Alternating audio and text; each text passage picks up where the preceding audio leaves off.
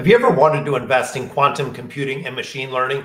Well, today is the day because we are going to do a deep dive into QTUM. Now, most of you know if you follow the channel, I do ETFs and I only invest in ETFs.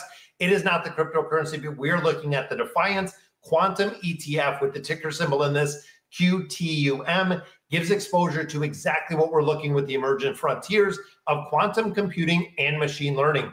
So in this video, I want to unpack exactly what it does hold within there, what's inside the performance, which is just absolutely exceptional, what the risks are, and of course, what is the reason and should it be in your portfolio? So if you're interested in the really thematic um, tech ETFs, this is one you have to stick around for. So let's go ahead and get in. So what exactly is this ETF? It is the Defiance Quantum ETF. So it is not Vanguard. It is not a company that I hadn't heard of, but doing a little bit more research, Morningstar does rate it five stars, so it is pretty good. Publicly traded, launched back in 2018. Now, think about that for a minute. Seven years ago, this was focused on machine learning and quantum computing. That's a long runway for this ETF to be out.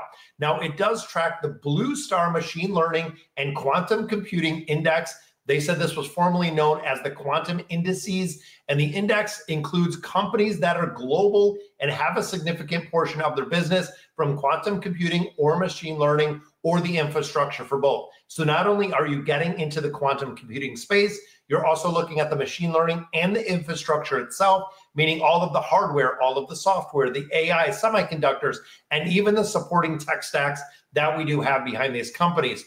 Now, it is an equity ETF, not a derivative, not a future fund. It is passively managed. Now, that is something important to note. Passively managed ETF using physical equity exposure and rebalances semi annually. Now, majority of these really big cutting edge ETFs that we see do kind of automatically rebalance because, again, it is passively managed. It is going to rebalance every six months, which I love, meaning there is going to be some changes. Now, it is not a pure quantum fund. That is whole, that is good because it has some adjacent technologies out there, AI semiconductors, and a lot of these companies are the cutting edge quantum companies, but there is also some of those staple ones in there. So since the inception, the quantum computing has really viewed as more of an emerging market. And of course, a little bit niche, a little bit speculative, which short of, I believe, D Wave, there isn't any practical application or really income generation that we're seeing from these companies. So let's go ahead and I want to break down exactly what we're seeing within this ETF because it is pretty interesting. So let's cover this, guys. So this is again QTUM. This is the quantum computing revolution. Now, again, like I said earlier, I invest in the ETFs, and this, of course, is an ETF. So if you want to do your research, this is definitely where you need to. Um, really transformative technology reshaping the future and looking at the market price and looking at where we are for the growth. You'll notice total returns right down here. Cumulative year to date, it is up 30%, which of course far exceeding than we see like the S&P 500. One month it is 10%, three months 14, six months up 41% since inception. So thinking about the last seven years since 2018, since this has released, 344%. That is a just astronomical growth, guys. Now, remember, the rule of seven means it's going to take roughly seven years to, to go ahead, depending on the return, to duplicate or to um, double the portfolio. If we're looking at 350% growth in the last seven years, that is kind of a crazy runway that we've seen with the growth. Even looking at the annual returns, you can see running around 23%, and even calendar years, guys, looking at 2024, we are over 50% growth. And you can notice even the first year, 2018, didn't really count. Not sure exactly the day it released in 2018, but overall, I mean, 48, 42, 35, negative 28, which we know that was a really big market pullback that year. 39 and then 50%. And honestly, I feel like there is an incredible runway when it comes to quantum computing because, again, the technology is getting to the point where it's going to be feasible to use, where we're going to see a lot more. And we're starting to see a lot more practical applications when it comes to really this computing revolution. So it does, in my opinion, guys, do your own research has a very long runway. Now, looking overall, um, premium discount, um, pretty good in there. Even looking at the mean ratio, looking at the expense ratio of 0.4, so a little bit higher again than we traditionally see. But overall, the assets pretty good, over two billion in there for the assets. And now the top holdings. This is again where it gets kind of interesting because I've done a couple videos now on quantum computing. And if you look at Rigetti right up here on Computer Inc., if you look at D-Wave, even looking at a couple, um, we have Oracle in here, we have Micron, we have Intel, we have AMD, um, Tower Semiconductors. So pretty much all of the big players, even looking at IonQ, and I actually did a video, if you didn't catch it, um, on Rigetti, on D-Wave, and IonQ as being the three big quantum computing cutting edge companies that we have out there. Now, one thing to note is you'll notice that it is not the really big tech companies. We're not seeing your NVIDIAs, we're not seeing your Metas. And also to note with this is it is a little bit different because when we start looking at the distribution or how this is made up, it is built up and it is treated a little bit different because it is based on a different weight. Now, remember, when we look at a traditional S&P 500, it is based on market cap.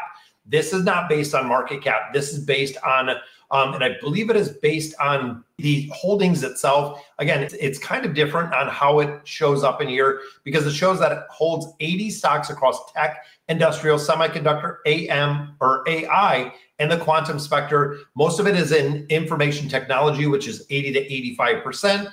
And then going through the the QTM uses an adjusted equal weight scheme rather than just the pure market cap for its index, meaning that it is not and it is preventing being dominated by a mega cap company or a large company. That's the reason, again, when we look at the top holdings that are in those quantum computing companies, that is exactly where we want it.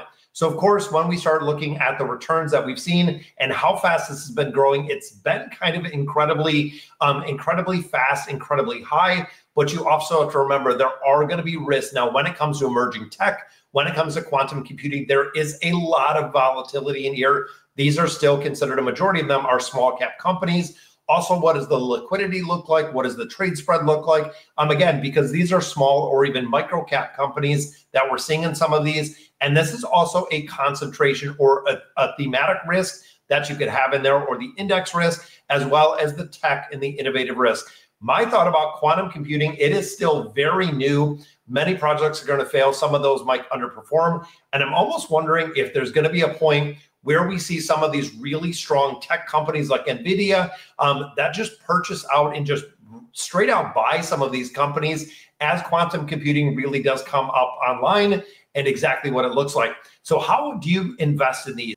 My personal thought in here is I put it 5% of my portfolio. So anytime a couple percent, and again, I don't want to go out there. I don't want to buy a bunch of quantum computing companies um, and buy just, you know, 1% here, 1% there. I would rather put a full 5% into something like this that we know has a little bit more risk, has a little bit more upside in here. Because when we start looking at quantum computing, promises disruptive computing capacity, and we are seeing it with the capability that we have very good synergy with AI, machine learning, and data. Imagine being able to do it just exponentially faster. Rising R&D spend and really the corporate interest. When we start looking at IBM, Google, Microsoft, NVIDIA, um, really looking and committing a lot to quantum research, which means, again, as maturity grows, as com- commercialization does come about, it could be not only an opportunity for these companies to grow, but also these companies to go ahead and really um, scale.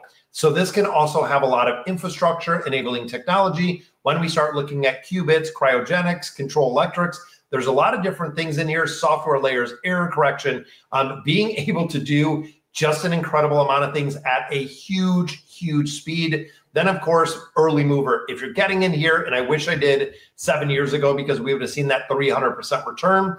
Um, if it really captures that outside growth that we see in here, the QTUM provides really an entry ticket to all of those companies in the quantum computing space that we absolutely love to see. So, guys, again, you got to be careful of the risk. You have to do your own research in this because, of course, best case, we could see a massive upswing in this. Worst case, and, and really, we could see it stall out a little bit. Um, the hype might die off for quantum computing. But again, when it comes to some of the practical application, I feel like it's really going to go there. So QTUM um, honestly gives you exposure to that quantum computing, also the machine learning. So if you want exposure to both of those, these are ones that you could absolutely um, go ahead and get in there. Again, I use it as a satellite position, as a little bit outside of you know having the VOO, having the QQQ, um, having a little bit more diversification in there. So guys, if you like the deep dives like this, just into specific ETFs definitely hit the like button, subscribe to the channel. Let me know in the comments.